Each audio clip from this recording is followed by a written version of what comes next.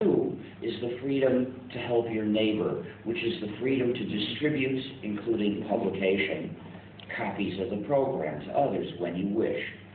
And freedom three is the freedom to help build your community, which is the freedom to distribute, including publication, your modified versions when you wish.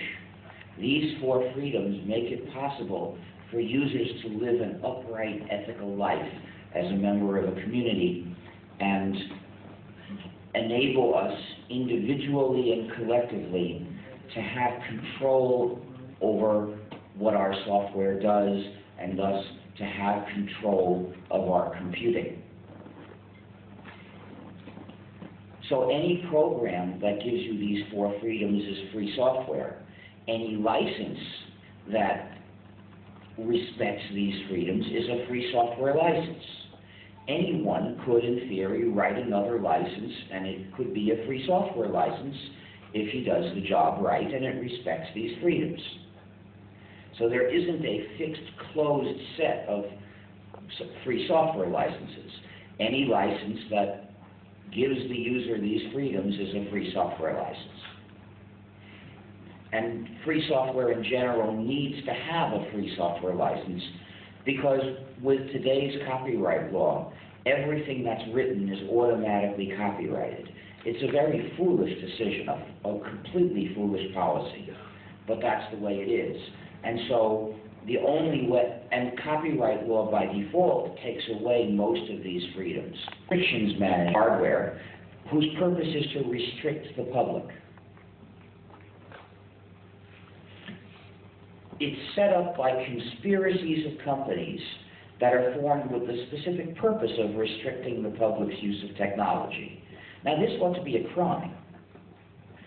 In, if we had governments of the people, by the people, for the people, then the executives of those companies would be in prison. But they're not in prison, and the reason is we have government of the people by the sellouts for the corporations.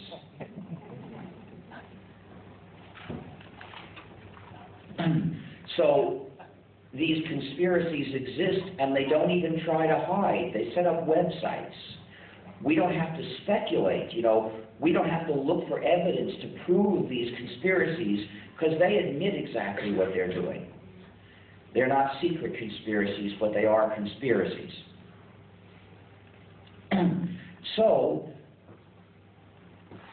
our supposedly democratic governments are not satisfied merely with allowing them to set up these conspiracies they actually give these conspiracies special help. This started in the United States with the Digital Millennium Copyright Act.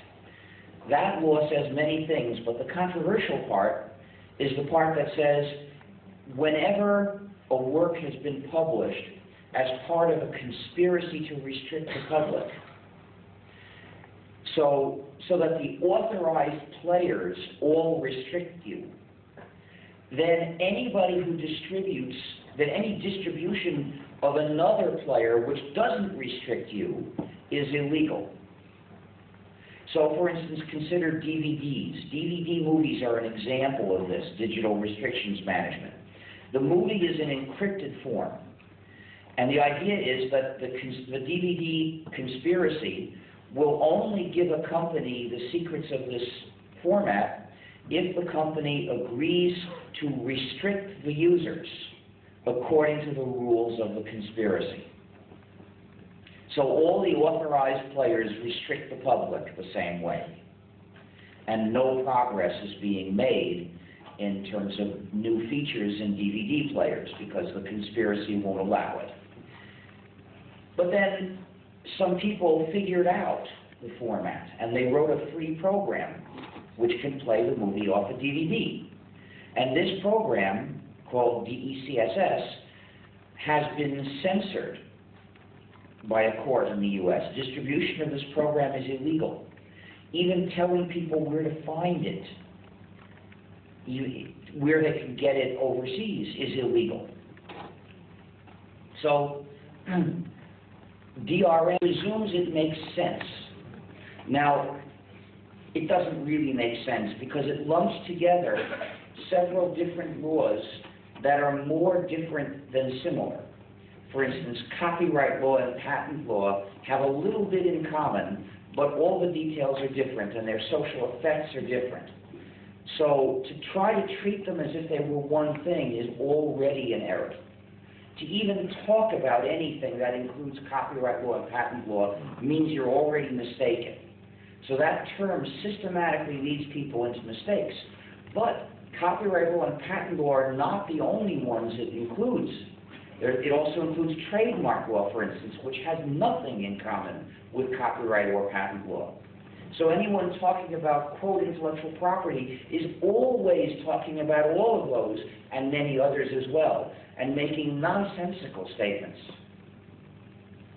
So if you say, for instance, that you especially object to it when it's used for free software, you're suggesting it might be a little more legitimate when talking about proprietary software. You mustn't do that.